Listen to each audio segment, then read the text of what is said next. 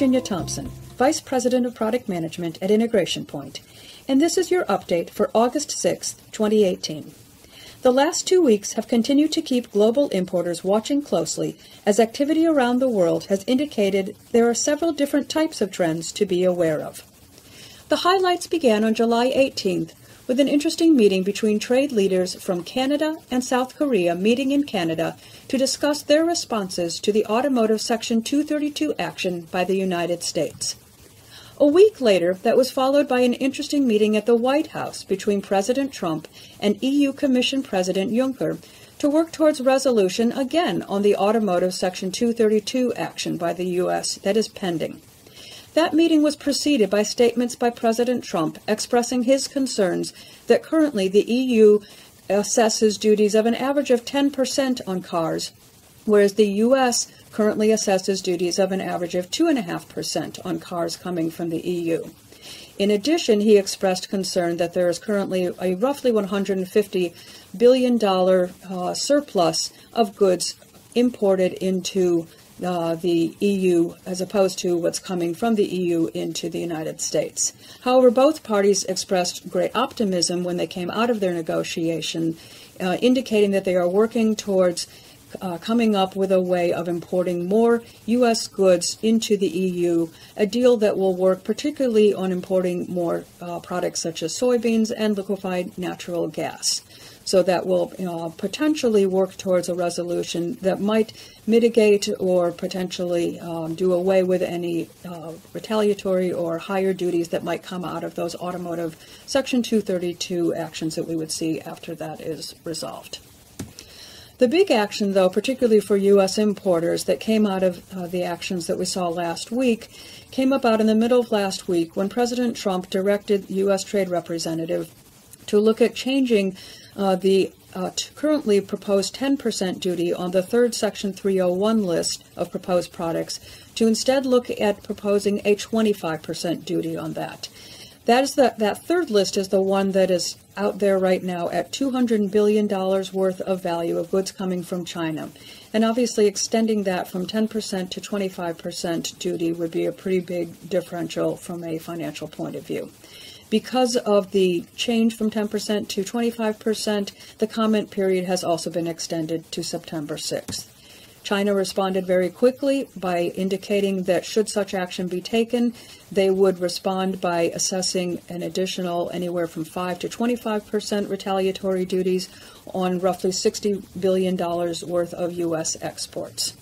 So looking at a little more detail on a couple of those points there, the meeting between the South Korean and Canadian trade leaders that happened on July 18th was between the Canadian Minister of Foreign Affairs, Chrystia Freeland, and the South Korean Trade Minister, Kim Hyun Chong.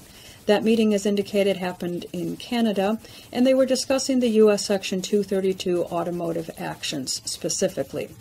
They did state publicly in their press release that they felt that because they were allies of the United States, they should be exempt from any duties that should come out of the final decision on it.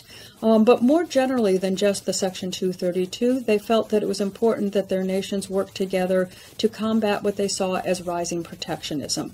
It's also worthy of note that after his visit to Canada, South Korean Trade Minister went on to visit Mexico on his trip and had a similar such meeting. And then looking again at the action that we saw last week come on the third list of the Section 301, looking again at that third list, that is the, the big one, if you will, out there. It's the $200 billion worth of value, or over 9,500 fully qualified HTS numbers. And the original FRN had proposed a 10% duty on those goods, but the direction from President Trump to the uh, USTR last week was to consider moving it from 10% now to 25%. And the, the quote that came out in the statement from U.S. Trade Representative Robert Lighthizer that, quote, China has illegally retaliated against U.S. workers, farmers, ranchers, and businesses, and that is why we are looking to make this change. So as a result, the deadlines that you can see there approaching, the one that has moved after the comments that are due coming up now on August 17th and followed thereafter by the public hearing, the one that has changed is the final rebuttal comments that used to be August 30th has now been moved out to September 6th in order to give people a little bit more time to think about how that change from 10% to 25% would impact their company and be able to get those responses in.